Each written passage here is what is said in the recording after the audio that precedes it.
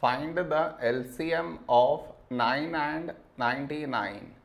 To find the LCM, for that we should frame it in this way.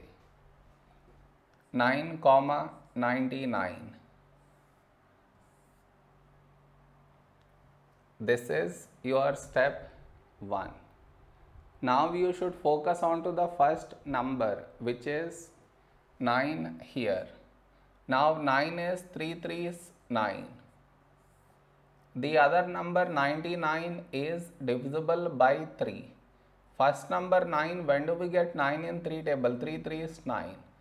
The other number 9, when do we get 9 in 3 table? 3 3 is 9. Now here we have 3, 3 is a prime number, so 3 ones 3.